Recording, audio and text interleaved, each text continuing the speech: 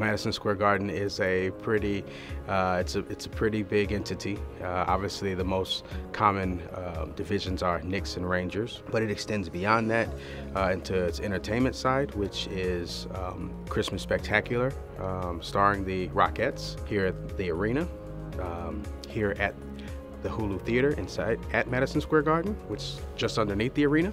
That training uh, the sales staff. Oftentimes, people try to do too much uh, at one time.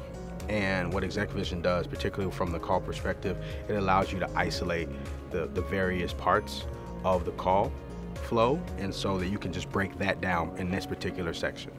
And then only focus on that for 45 minutes and then let them go actually uh, digest it and execute it. So that's probably the best thing that the, the one thing that I enjoy most is being able to isolate aspects of the call, of the conversation, and really being able to dig in and, and pull back layers in and what they what they saw, what they should have seen, what they did see, uh, and how they responded and or reacted.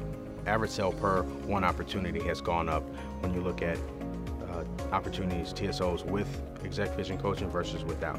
We saw that our um, close won percentage and was increased by 31% uh, for those that had ExecVision and ones that didn't. So 31% is, is, is significant of an impact in my opinion.